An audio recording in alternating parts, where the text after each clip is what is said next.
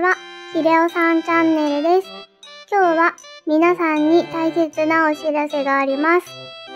この度、ひでおさんチャンネルは、うなぎさんの活動復帰に伴い、乗っ取り活動を一時休止することになりました。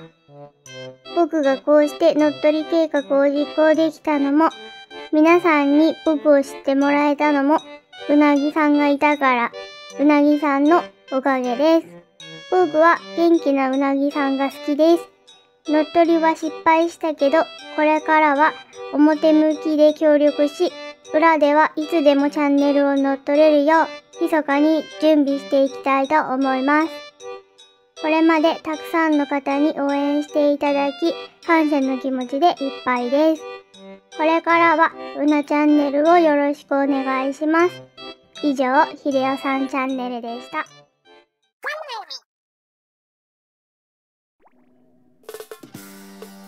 マッチングしました。ガチホコバトルです。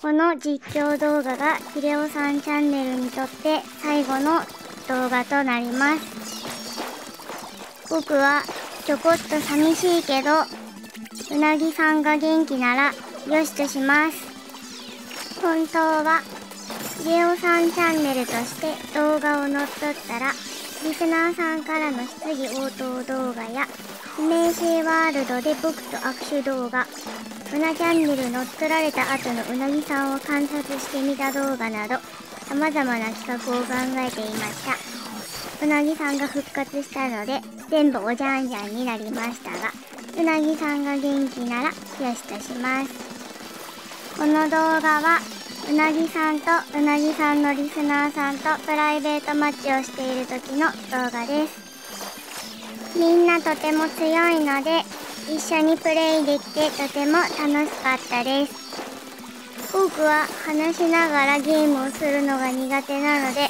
今回も後撮り実況となっています。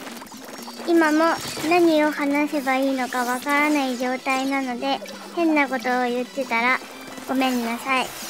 ちなみにこの動画は2倍速でお送りしています。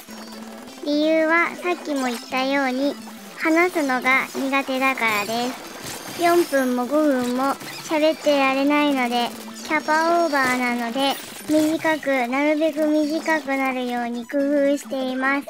僕はうなぎさんより賢いので、そういう工夫ができます。もう喋ることがなくなってしまいました。この辺で喋るのは終わりにしようと思います。今まで短い間でしたが、ヒレオさんチャンネルを応援していただき、本当にありがとうございました。皆様からの温かいコメント、とても嬉しかったです。今後はうなチャンネルをよろしくお願いします。ありがとうございました。